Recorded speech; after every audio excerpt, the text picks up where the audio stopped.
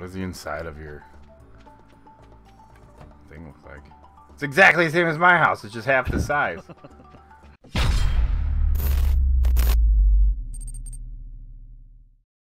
Hello guys, it is me, Dave from the Kodo back with another update video for you on the Stardew Valley multiplayer patch.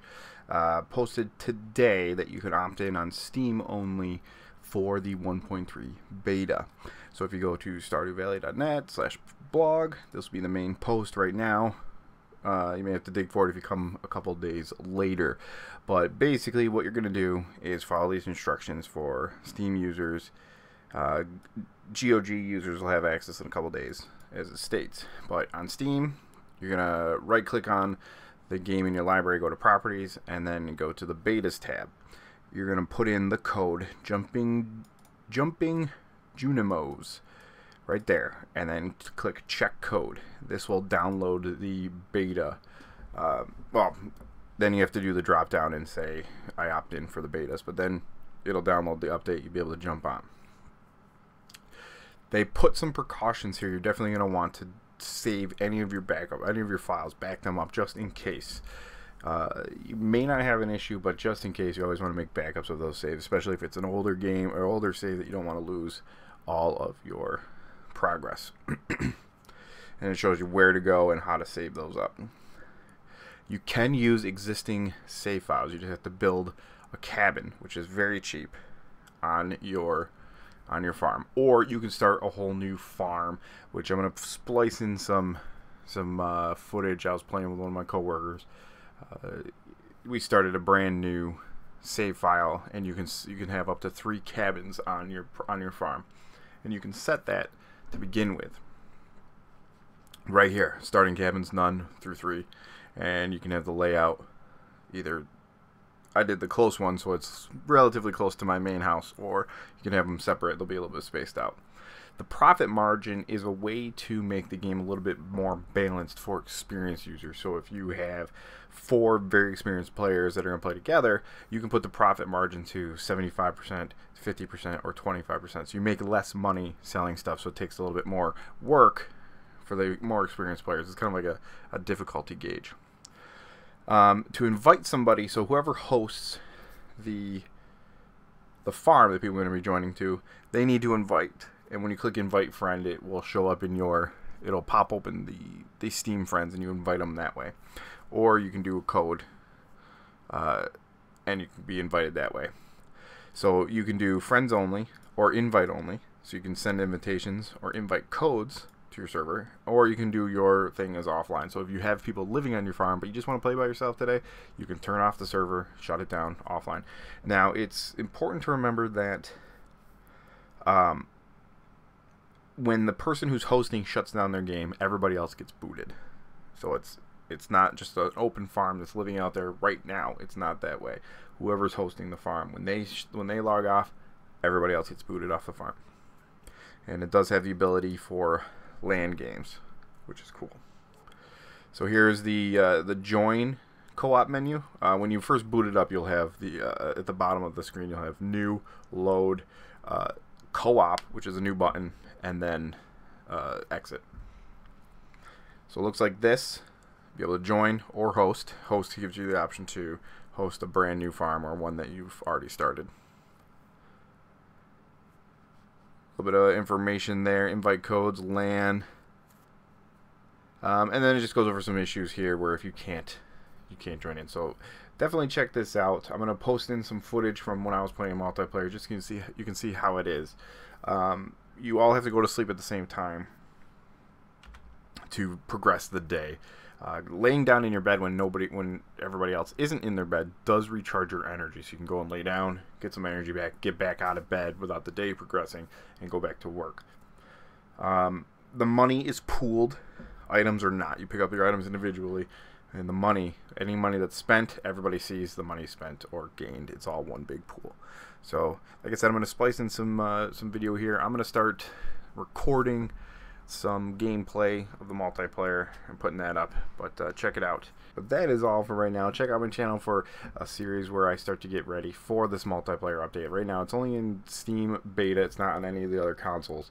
Um, So, but that'll be coming soon. Once the Steam beta is over, they'll fix any bugs that have been reported or are showing up, and then it'll start to go out. Uh, the single player content was also noted to be available, but he just hasn't released the code yet for it. He wants to kind of keep them separate so that he's not getting bombarded with with bugs on two different versions of the beta. So check that out. Uh, watch the following footage, and like always, guys, good luck and have fun.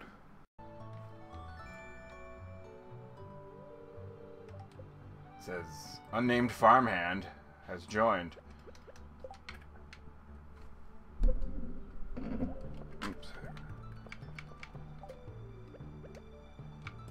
Where are you? It's making me make a character. Oh, okay.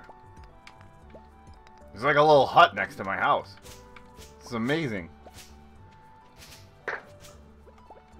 I wonder what happens like if I go to sleep. Does it progress the day, or do we both have to go to sleep? It uh makes both of you have to be in the bed to make it end the day. Ugh.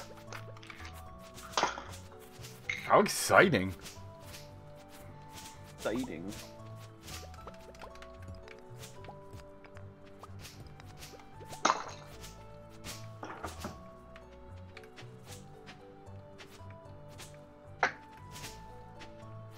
I guess like if you went AFK, I could just shut the server off and it would kick you off, and I could load it back up.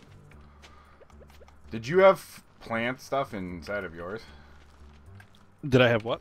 Did you have parsnip seeds? Um, I don't think so.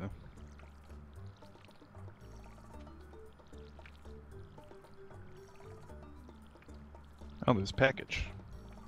Oh yeah, parsnip seeds. What does the inside of your thing look like? It's exactly the same as my house. It's just half the size.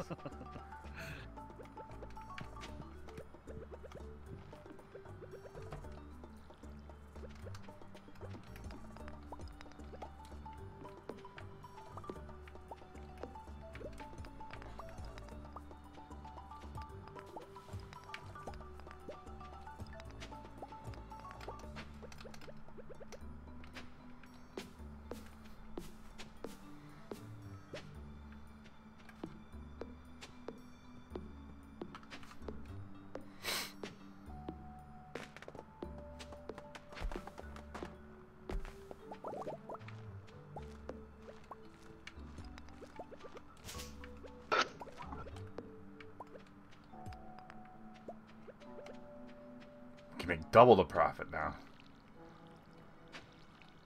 I wonder, do you have your own individual money compared to mine, or do we share money? Um, it says I have 500. Yeah, but I haven't spent any either, so I'm gonna go to.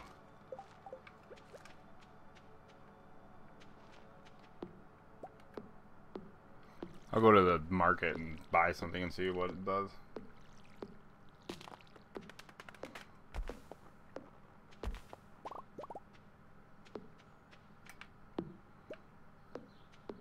Can you give me stuff? Or we probably have to transfer stuff through the chests.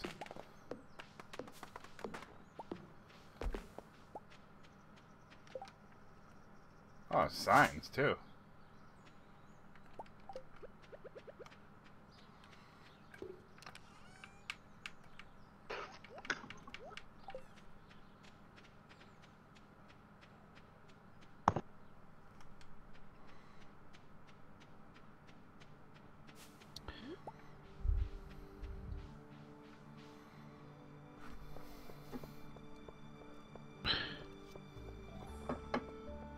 Give you stuff, I could probably just throw it on the ground or whatever, but I don't think you can do it with money. Well, I'm buying three things plus. Did your money go down? Uh, yep. Okay, so we pool money. Okay. So it's down to zero. Yep, that makes sense. I bought all the stuff I need. We need for the first, the spring crops, plus extra parsnip seeds.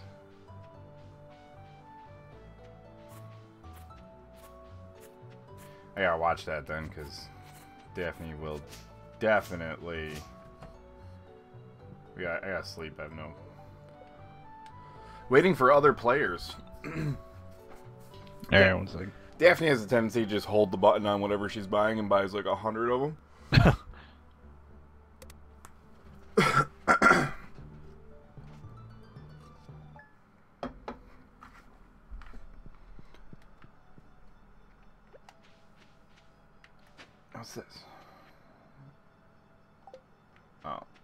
the fishing pole is ready.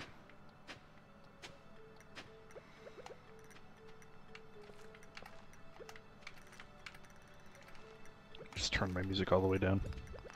Yeah. It gets. It's like. I don't know what developers think is like an appropriate sound level, but I don't all think I've. I've never played a game where it's like, oh, this is definitely the volume that I want.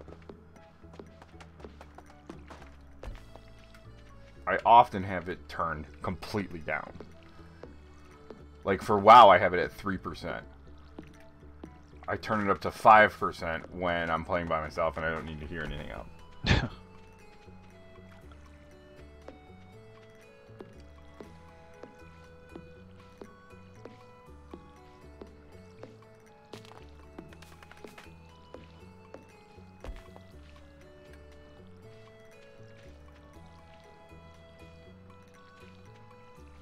Fucking Bob Ross is my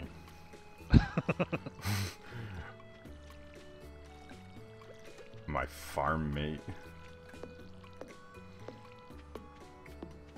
I wonder if our skills go up at the same rate.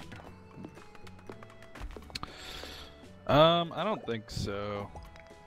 Like if I forage a lot, do your does your foraging skills go up?